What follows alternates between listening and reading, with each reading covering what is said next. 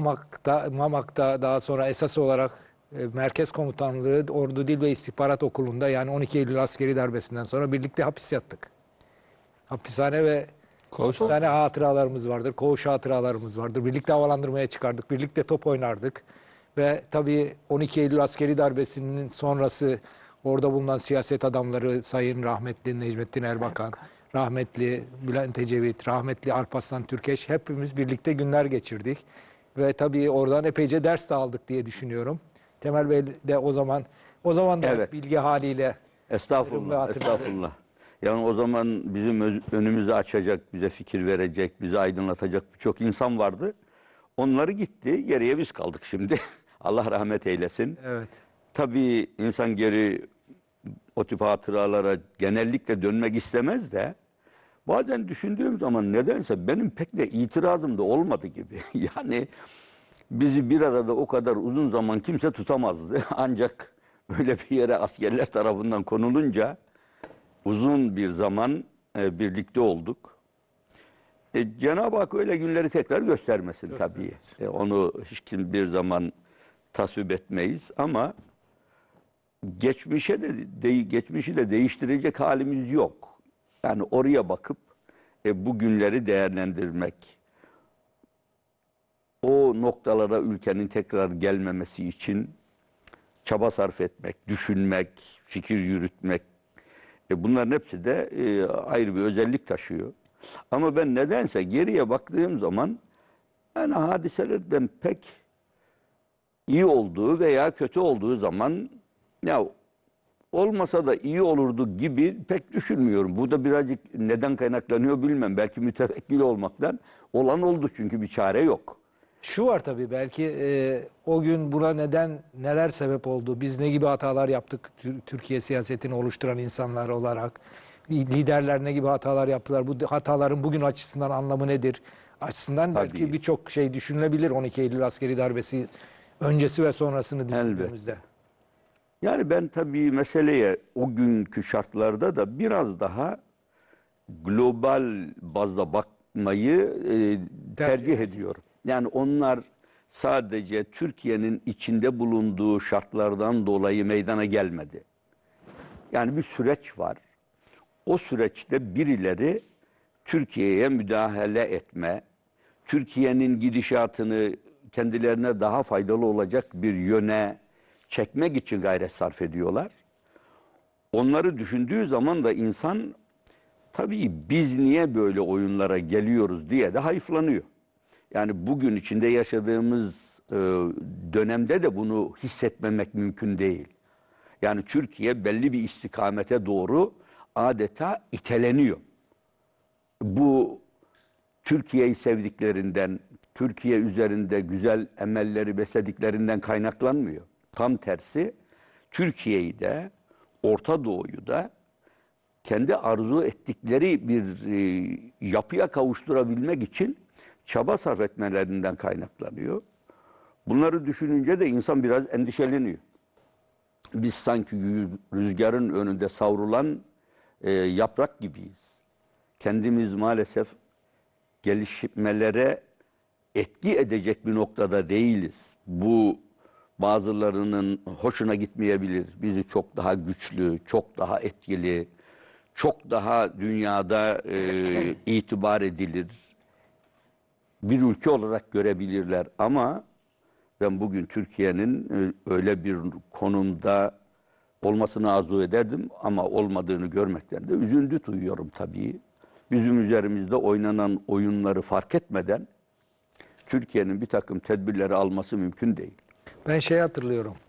Sayın Alparslan Türkeş rahmetli Evet. dedi ki ortak bir anayasa konusunda uzlaşmamız gerekir dedi. Ve bir metin yazmıştı. Hiç unutmuyorum.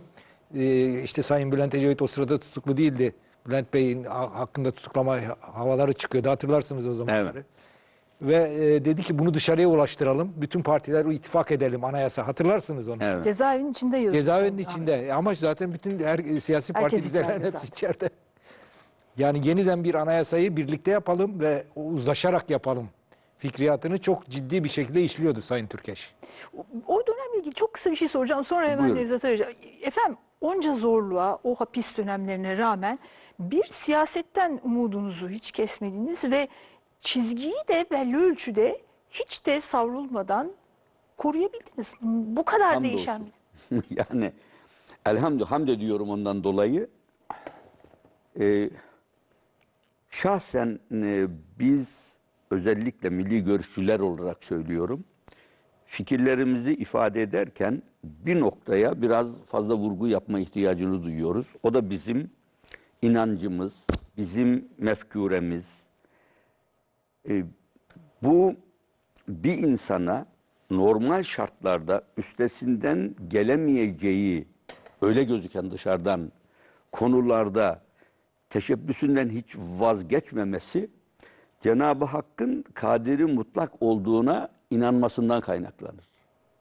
Biz bir işe gireriz, iyi niyetle gireriz. Karşımızdaki insanlar da yahut da kurumlar da dev gibi gözükür.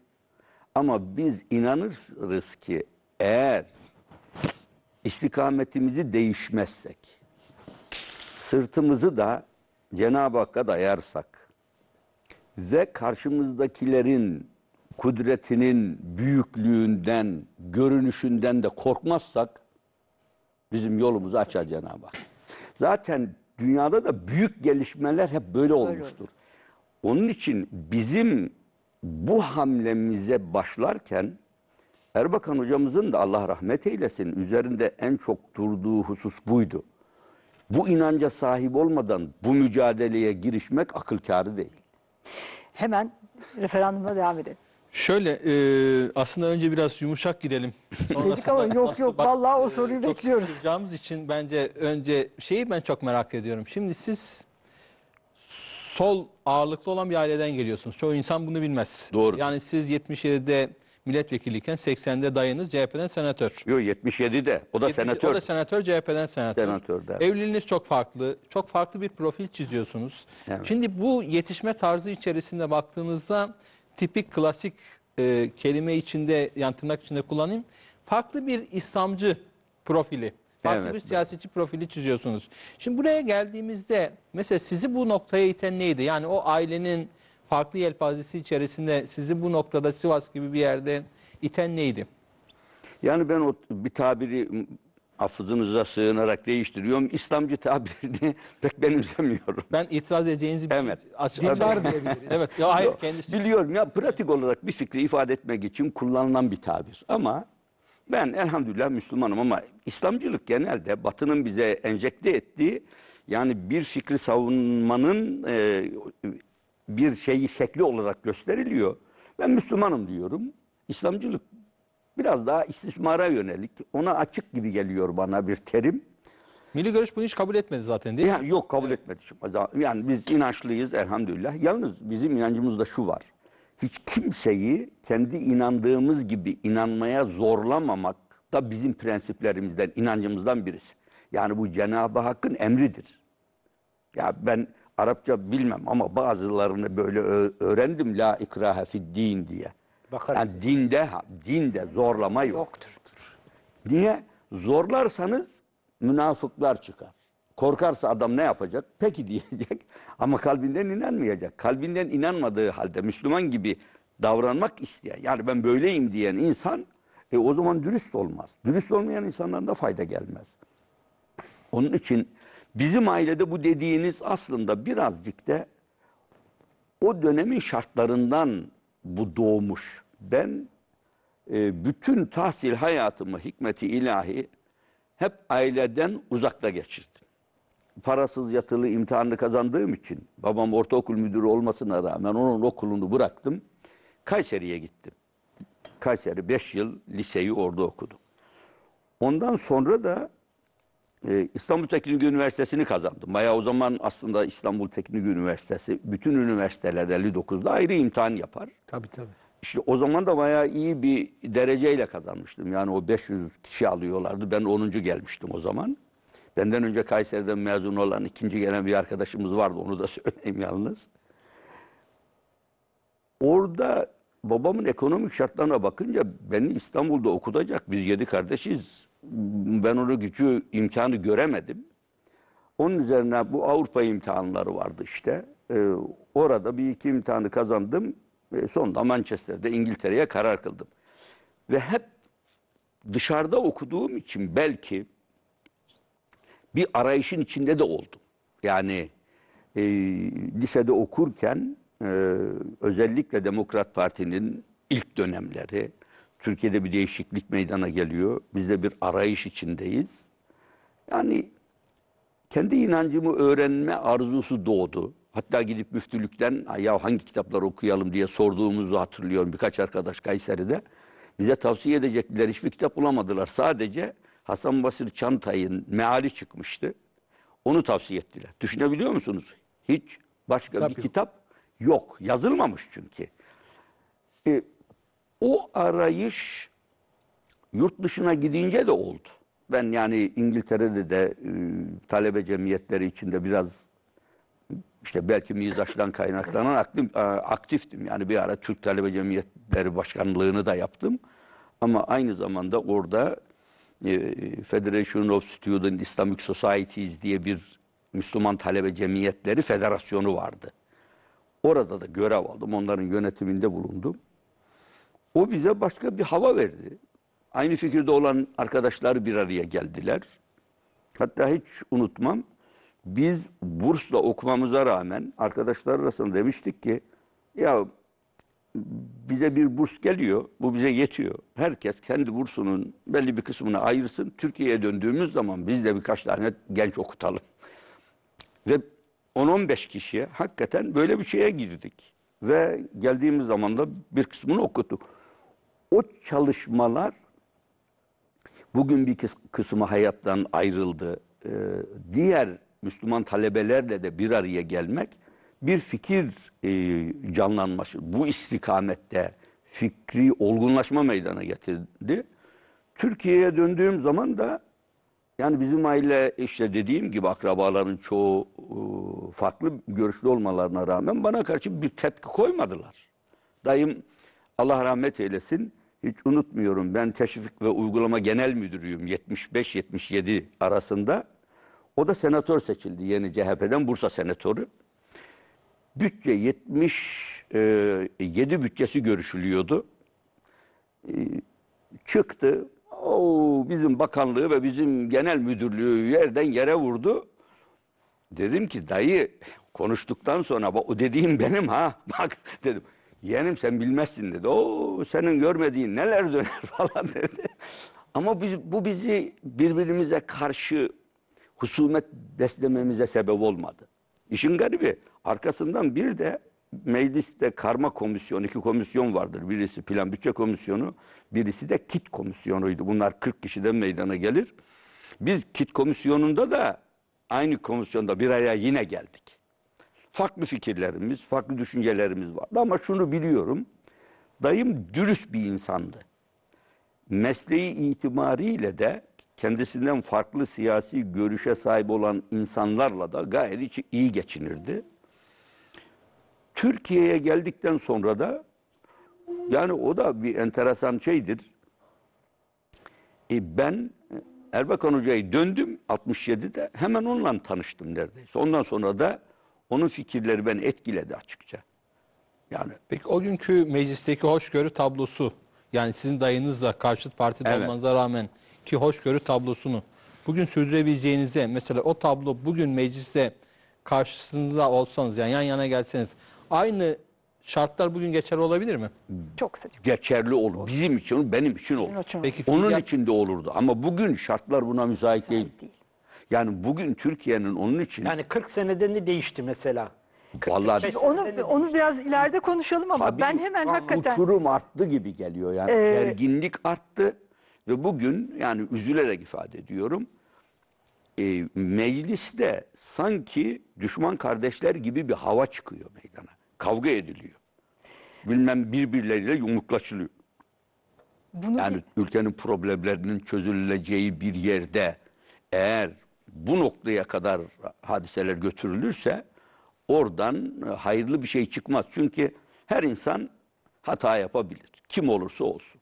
Siz bir konuyu meclise getirdiğiniz zaman eğer muhaliflerin tenkitlerini dikkate alarak onu olgunlaştırırsanız ortaya mükemmel bir kanun çıkar, karar çıkar. Ama onları dikkate almazsanız ön yargılı, biz kimseye itibar etmeyiz, bildiğimiz yoldan şaşmayız derseniz o zaman da problemleri çözemezsiniz. Peki ben hemen sıcak buyurun. mesele araya girmek zorundayım. Herkesin de beklediği mesele efendim. Ee, birkaç tane cümleniz arka arkaya. Önce hayır oyu veririz. Sonra başkanlık sistemine karşı değiliz ama herhangi bir başkanlığa evet diyemeyiz. Önce evet demeyeceğiz. En son destek veremeyiz demek bütünüyle ümitsizliğe düştük manasına gelmiyor. Bunların Evet. hepsinden Evet. Aynı şekilde. Şimdi herkes saadete bakıyor. Birazcık da acaba bir şey mi var, bir görüşme mi var? Nevzat daha detaylı sorabilir muhtemelen Şimdi ama Hanım nezaketinden sormuyor da ben açık Evet. Diyorlar ki, geçen toplantıda da sordum. Diyorlar ki Saadet Kapısı bir açık kapı bırakıyor. Bu açık kapıdan her an çıkıp gidecekmiş gibi bir izlenim var. Evet. Dolayısıyla siz ne diyorsunuz? Yani bu referandumla ilgili hayır mı diyorsunuz? hayır derken hangi şartlara göre diyorsunuz? Evet mi diyorsunuz? Evet derken hangi şartlara göre diyorsunuz? Ne diyorsunuz? Evet. Esas herkesin merak merak ettiği bu. bu. Herkesin hakkı. Ama o- onun onun cevabı işte bir e, basın toplantısında Anadolu Ajansı'nın muhabirinin ısrarlı 3-4 e, sorusundan sonra verilmişti. Şimdi biz Yani müzakere kapısını açık mı bırak? tabii şöyle biz e, bir noktada ben e, bir araya geldiğimiz zaman gazete- gazeteci arkadaşlarımızla da ısrarla şunu söylüyorum. Birbirimizi dinlemek mecburiyetindeyiz. Birbirimizi dinlersek anlayabiliriz. Dinlemezsek anlamamız mümkün değil. Ön yargılı. Ona karşı vereyim, şunu ben nasıl alt ederim diye bir mantıkla birisi bir müzakereye oturursa orada anlaşmaları mümkün olmaz. Herkes kendi kanaatinde pekişir. Ama anlamaya çalışırsa o zaman yapıcı tekliflerde bulunabilir. Ben bu kapıyı açık tuttum her zaman. Biz prensip itibariyle başkanlık sistemine karşı değiliz. Çünkü 73'lerde de biz bunu böyle gündeme getirmişiz. 90'larda da. Ama hadiselerin karıştığı bir dönemde Erbakan hocamıza da bunu sordukları zaman ne başkanlığı demiş. Çok açık. Şu anda bizim önümüzde ciddi problemler var. Biz bu problemleri çözmekle mükellefiz. Doğru. Esas mesele problemleri çözmek. Türkiye'yi biraz daha ileriye götürmek. Yoksa bir sistemi getirmek, her şeyi çözeceksiniz manasına gelmez. Onun için ben ısrarla başından beri bunu söyledim.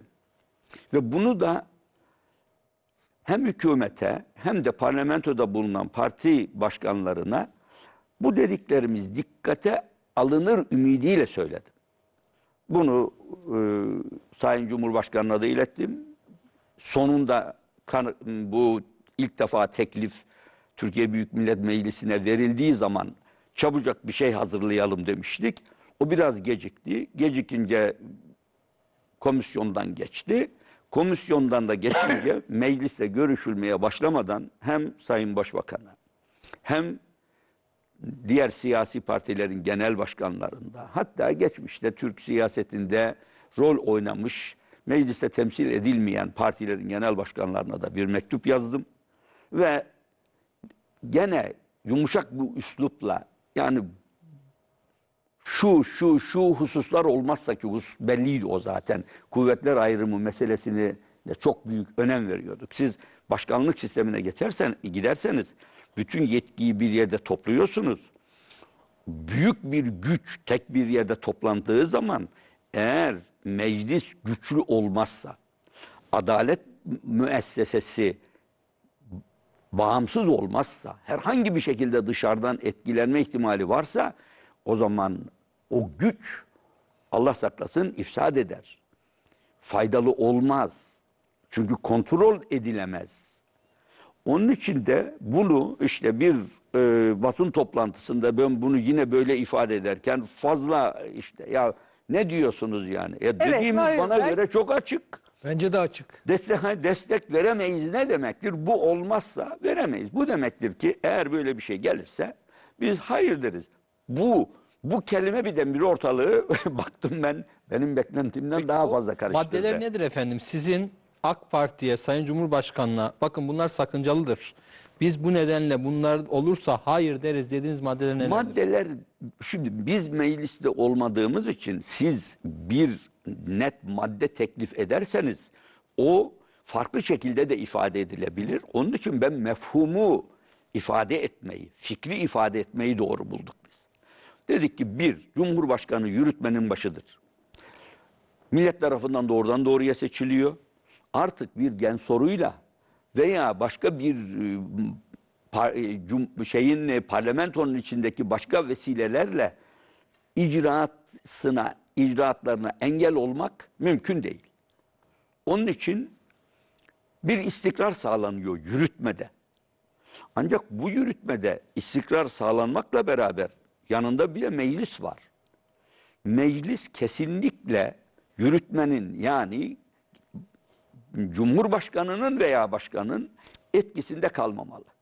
Hiçbir surette burada ufacık bir kapı bırakırsanız Peki bu nasıl sağlanacak böyle bir Ben şey? burada bir- şey, Yani- ona geleceğim. Bir reklam arasına girelim mi? Olur, olur. Bunu Ben uzun şunu- şunu uzun tamamlayayım konuşabilmek ama için ister- şu ana kadar söylediklerinizden ben güçler ayrılığındaki sıkıntı nedeniyle hayır pozisyonu. O kadar. Tabii. Başka da bir şey Denge yok. ve denetim, Efendim? güçler ayrılığı. İşte onu tabii Kısa bir, kısa bir ineriz. ara.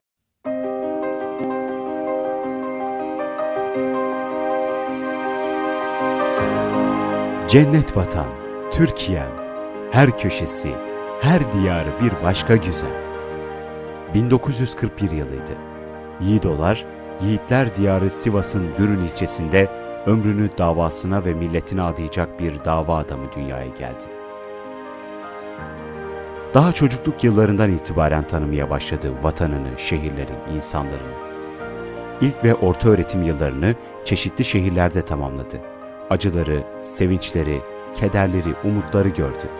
O yıllardan itibaren oluştu içerisinde. Ben bu yanlış giden düzene karşı hak ve hakikatin mücadelesini vermeliyim isteği ve heyecanı. Ülkesi o yıllarda üretemiyor, ürettirilmiyor, tüketiyor, tükettikçe de tükeniyordu. Bu sebeple yüksek öğrenimini bilim, teknoloji ve sanayi üzerine yurt dışında yaptı. Eğitimini tamamlar tamamlamaz ülkesine döndü artık milletine, ülkesine hizmet etmek için hazırdı. Bu dönüş kendisinin bir ömür vereceği büyük ve erdemli bir mücadelenin de başlangıcıydı. Takip eden yıllarda kamuda üst kademe idarecilik, özel sektörde yöneticilik görevlerinde bulundu. Milli Görüş Hareketi'nin doğuşuyla birlikte bu çağrıya kulak verdi, mücadelenin her anında Profesör Doktor Necmettin Erbakan'ın yanında oldu iyi tanıdığı ülkesinin, özlemini çektiği güzel günlerin, derdini çektiği yeni bir dünyanın kurulabilmesi için büyük bir aşkla mücadelenin içerisindeki yerini aldı. Akıp giden zaman içerisinde gün geldi, siyasi yasaklar aldı, yargılandı, sıkıntılar çekti. Gün geldi, milletvekilliği, belediye başkanlığı yaptı. Gün geldi, grup başkan vekilliği, genel başkan yardımcılığı, yüksek istişare kurulu üyeliği görevlerini üstlendi halka hizmeti, hakka hizmet olarak gördü. Milletle arasında hiçbir zaman mesafe koymadı. Babacan tavrıyla dost, abi, kardeş gibi oldu ve dertlilerle dertlendi, ilgi bekleyenlerle ilgilendi. Güzel ve unutulmaz eserlere, hizmetlere imza attı. Yaşadığı çağı, bölgeyi, coğrafyayı, dünyayı, davasının verdiği bakış açısıyla çok iyi analiz etti. Anladı, anlattı yürüyüş içerisinde vakur bir edayla en önde yer alanlardı. Yüreği ana dolu, sevgi dolu, ümit ve azim dolu, heyecan dolu. Bilge Başkan Temel Karamollaoğlu